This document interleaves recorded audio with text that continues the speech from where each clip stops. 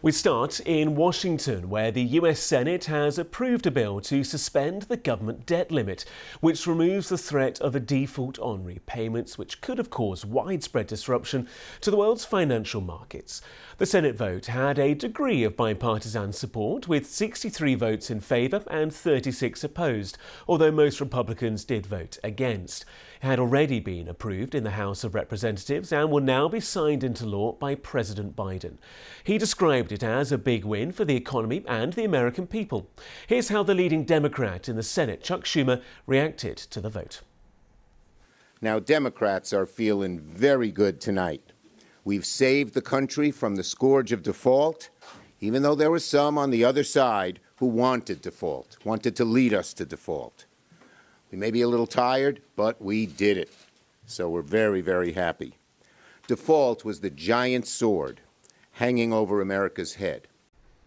Well, here's a reminder of what's in the deal. Firstly, suspending the debt ceiling until 2025. That means the government could borrow more money to pay its bills for the next two years. There would also be a 10 year freeze on spending, except for defence, whose budget will increase to $886 billion.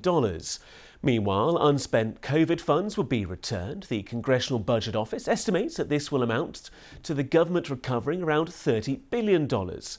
Welfare benefits will be slightly tinkered with, but there'll be no major overhaul there.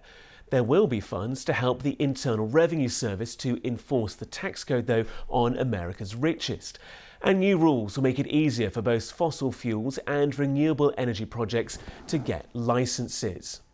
Well, our North America correspondent, Jessica Parker, has been following the story. So this piece of legislation went through the House, the lower chamber, now the Senate, the upper chamber, and it will proceed to Joe Biden's desk, probably the most predictable part of this process. We know exactly what's going to happen. He will sign it into law. And this follows, of course, extensive wrangling and negotiations between senior Republicans and the White House over this debt ceiling deal.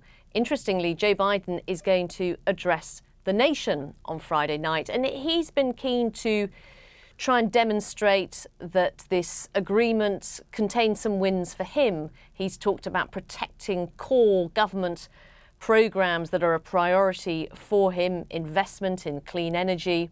But of course, for Joe Biden, he was very keen will be very relieved that the US isn't going to default on Monday, as the US Treasury warned it might, because it would have happened on his watch, even if he had tried to blame Republicans. So that will be a relief for the White House, and it's a two year deal, so it means it lives on beyond the next presidential race. He wouldn't want to have had a similar fight like this as he bids for re election. For the Republicans, the House Speaker Kevin McCarthy has talked a lot about how he's won spending curbs, welfare reforms, and how the White House didn't even want to do any kind of negotiation over the debt ceiling. They just wanted a clean debt ceiling deal. So he's been trying to chalk up victories there. But the truth is that there are people from both the Democrats and the Republicans who've been critical of the agreement that was reached. And this whole episode has once again exposed not just those ideological and political divisions between the Republicans and the Democrats, but within those parties as well.